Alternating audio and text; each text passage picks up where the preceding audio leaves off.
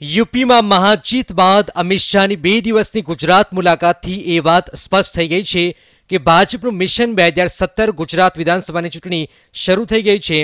રાજ્યમાં વહેલી ચૂંટણીની અટકળો વચ્ચે અમિત શાહે બે દિવસથી ગુજરાતમાં ધામા નાખ્યા છે. બુધવારે વિજય વિશ્વાસ સંમેલન બાદ ગુરુવારે સવારે સૌપ્રથમ અમિત શાહ ગુજરાત વિધાનસભા પહોંચ્યા, જ્યાં શાહને આવકારવા ભાજપના કાર્યકરો અને ધારાસભ્યથી માંડી મંત્રીઓમાં અનેરો ઉત્સાહ જોવા મળ્યો. શાહનું વિધાનસભામાં ભવ્ય સ્વાગત કરવામાં આવ્યું. ત્યારબાદ અમિત શાહે ગૃહમાં તમામ ધારાસભ્યોને સંબોધન કર્યું. અમિત શાહે પોતાના સંબોધનમાં ગુજરાતના વિકાસની પ્રશંસા કરી. અમિત શાહે ગૃહમાં ઓગણીસો પંચાણું પહેલાંની સ્થિતિની યાદ કરી અને તેની સરખામણી ગુજરાતની આજની સ્થિતિ સાથે કરી. અમિત શાહે કહ્યું કે આજે ગુજરાતના ગામડાઓમાં ચોવીસ કલાક વીજળી મળે છે. સરકારની પ્રશંસા કરવાની સાથે શાહે વિધાનસભામાં એ વાતનો પણ આડકતરો ઇશારો કર્યો કે આગામી વિધાનસભાની ચૂંટણી વિજય રૂપાણી, નીતિન પટેલના નેતૃત્વમાં યોજાશે.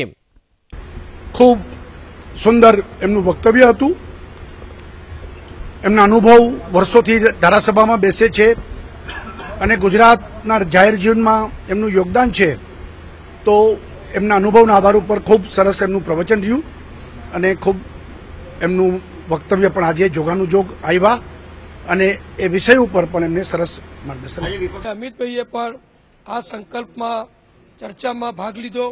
લગભગ ચાલીસ મિનિટ સુધી એમણે પ્રવચન કર્યું અને ગુજરાત રાજ્યની સ્થાપનાથી મળી ઓગણીસો પંચાણું સુધી જ્યાં સુધી કોંગ્રેસ સરકાર હતી ત્યાં સુધી ગુજરાતની શું સ્થિતિ હતી એ એમણે વર્ણન કર્યું.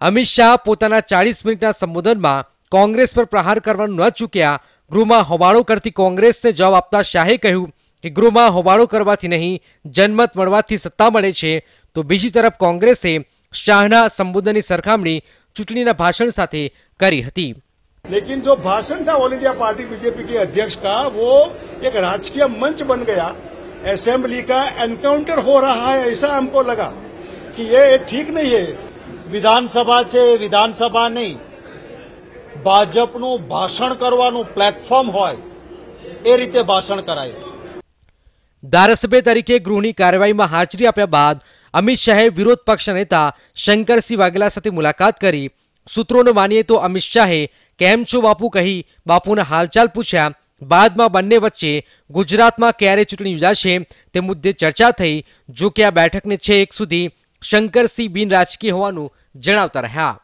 इन्होंने इच्छा प्रकट की कि एक आध कप चाय हो जाए तो मेरी ऑपोजिशन कार्यालय में चाय पीने के लिए आएंगे आएंगे तो क्या बात होती है क्या नहीं वो सब ओपन होगा कोई प्राइवेट बात नहीं है ये कट से विजिट है एक दूसरे की એક બાજુ ભાજપે ગુજરાત તરફ ફોકસ વધાર્યું છે તો બીજી તરફ કોંગ્રેસે મુરતિયા શોધવાનું શરૂ કરી દીધું છે યુપીમાં ચારસો ત્રણમાંથી ત્રણસો પચીસ બેઠક જીતનારા ભાજપ માટે પ્રધાનમંત્રીના ગઢમાં એકસો પચાસથી વધુ બેઠકો જીતવાનું લક્ષ્ય છે અને આ લક્ષ્ય પાર પાડવા ભાજપના ચાણક્ય ગણાતા અમિત શાહે બ્યુગલ ફૂંકી દીધું છે બ્યુરો રિપોર્ટ ઈટીવી ન્યૂઝ